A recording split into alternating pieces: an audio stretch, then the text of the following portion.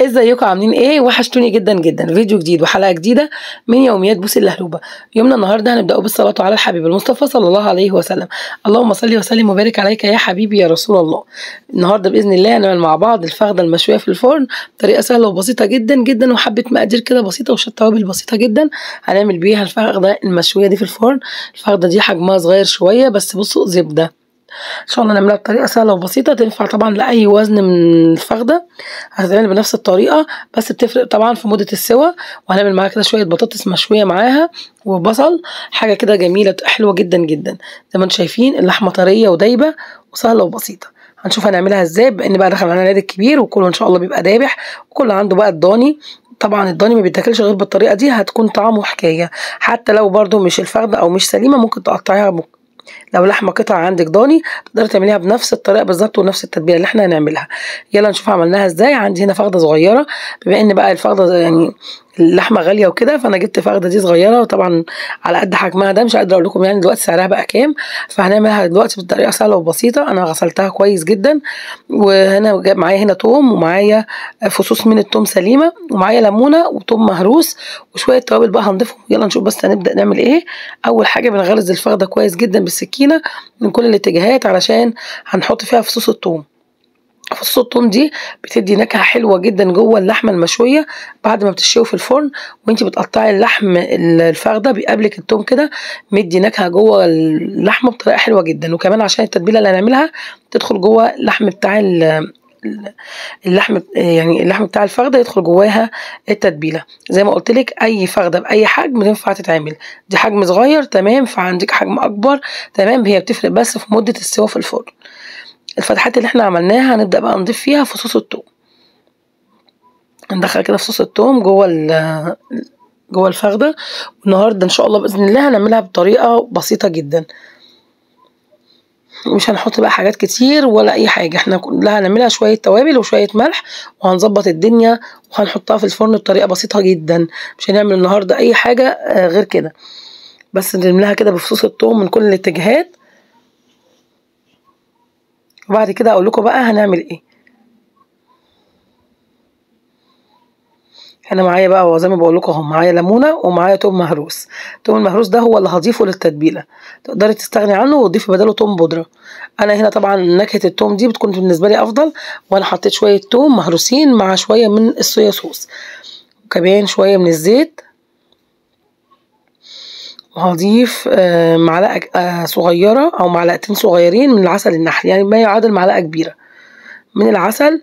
ده بيطري اللحم بتاع الفخدة وبيطري اللحم بخلاص تستوي بسرعة. وهحط كمان حبة من توابل اللحمة بهارات اللحمة وهنا شوية من البابريكا بتدي لون ونكهة حلوة طبعا في الشوي.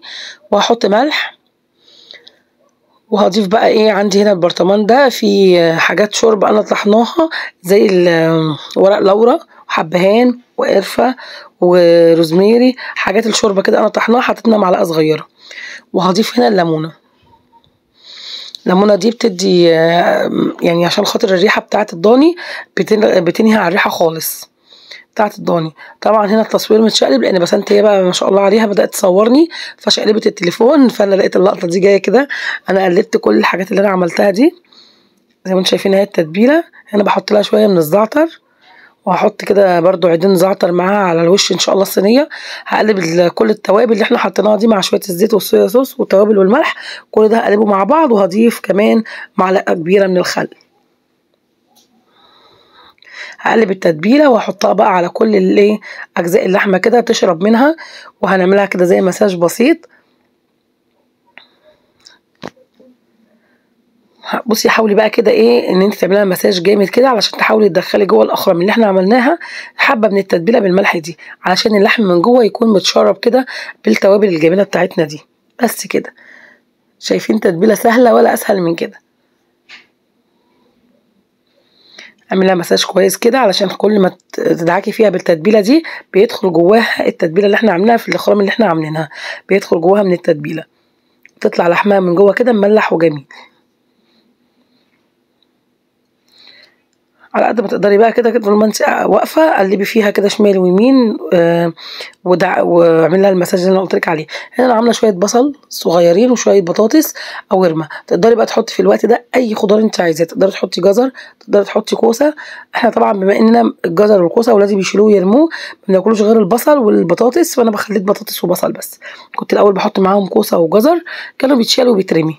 فحرام فأنا الحاجة اللي بياكلوها دلوقتي هما بياخدوا البطاطس مع الرز البسمتي والبصل بيهرسوه معاهم بيكون طعمه تحفة. فأنا بقيت أزود لهم بطاطس وبصل وهنا طبعا إحنا بنحيق بقى البطاطس والبصل اللي إحنا عاملينه بشوية من الملح وشوية من التوابل وحطيت عليهم شوية من التتبيلة اللي كانت باقية. وأنا حطيت بقى توابل شوربة خشنة حطيت حبهان وحطيت ورق لورا وحطيت روزماري وحطيت كمان عود من الزعتر. وهحط كمان هنا عيدان من الروزماري والزعتر برضو على الفخدة. زي ما قلت لكم أنا ضفت حبهان وضيف هضيف كمان عود قرفة وهحط كمان حوالي كوباية صغيرة أو فنجان صغير من المية. وهي شوية كده هتنزل ميتـ ميتها والبصل هينزل ميته وهتستوي منها فيها. عندك كيس حراري حطي كل ده في الكيس الحراري واربطي على الكيس الحراري هيكون أفضل. أنا طبعا ما كانش عندي كيس حراري فأنا حطيتها في الصينية على طول وهضيف لها إيه ورقتين كده من ورق الفويل. واغطيها كويس عشان تستوي والبخار بتاعها يبقى جواها وتستوي. أنا هحطها دلوقتي في الفرن. هتقعد في الفرن حوالي من ساعة ونص لساعتين عشان فخده صغيرة. هتقعد معايا حوالي ساعتين في الفرن.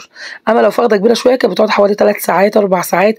أنا زي ما قلت لكم كل فخده على حسب آه الوزن بتاعها وعلى حسب كمان حجم الخروف أو الجلد اللي كان مدبوح هل كان صغير هيستوي بسرعة أو كان حجمه كبير في السن. تمام؟ بس طول ما انت مقفلة عليها طول ما هتستوي. زي ما أنتم شايفين طبعا هي كشت كده في بعضها وبقت إيه استوت وخلعت كده من اللحم من العظم. اللحم خلع من العظم يبقى هي كده استوت. طبعا بنعملها اختبار بقى بشوكة أو أي حاجة وبنطلعها زي ما أنتم شايفين.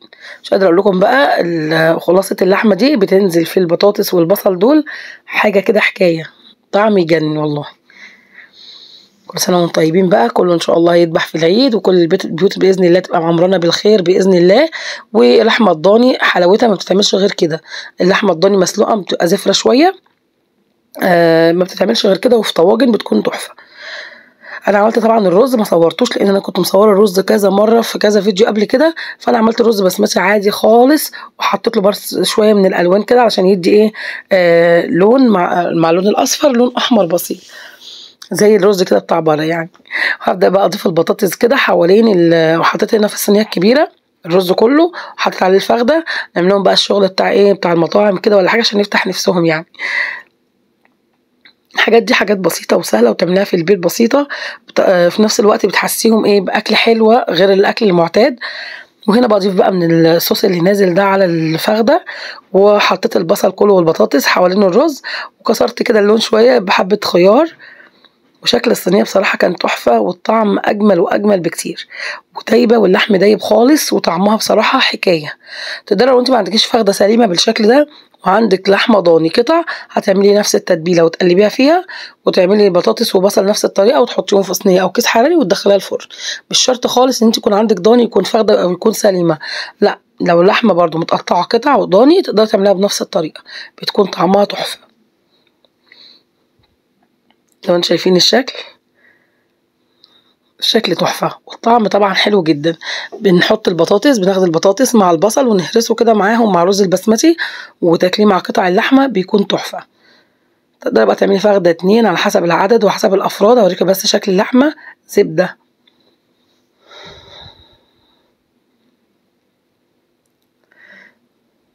وادي البطاطس مستوية. وبألف أنا والشفا وكل سنة وأنتم طيبين. وعيد سعيد عليكم يا رب يعود علينا عليكم بالخير. وعايزه أقول لكم كمان شجعونا بقى بلايك واشتراك في القناة. لو أنت لسه ما اشتركتيش حط لنا لايك واشتراك وفعلوا زر الجرس عشان يوصلكم كل فيديو جديد بإذن الله. كل سنة وأنتم طيبين. والسلام عليكم ورحمة الله وبركاته.